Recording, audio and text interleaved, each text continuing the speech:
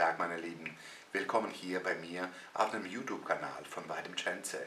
Auch heute habe ich für Sie einen Seelenschützer mitgebracht für den ganzen Monat.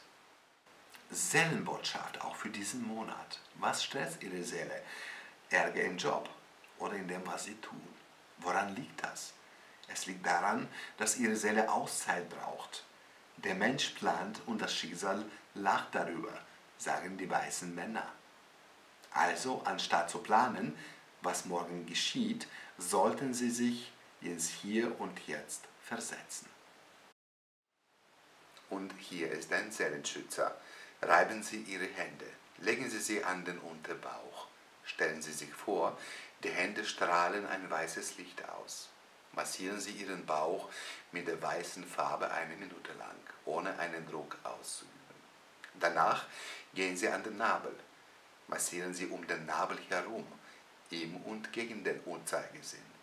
Dann reiben Sie die Hände noch einmal und gehen an Ihre Brustwarzen. Lassen Sie die Hände darauf eine Minute lang ruhen. Die rechte Brustwarze nimmt übrigens Energie aus dem Kosmos und die linke aus der Erde oder von der Erde auf.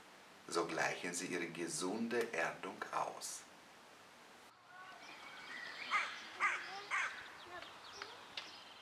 Es wird mich auch freuen, wenn Sie auch das nächste Mal diese Rubrik anschauen. Auch im nächsten Monat gibt es einen Seelenschützer für Sie, damit Ihre Seele auch singen kann.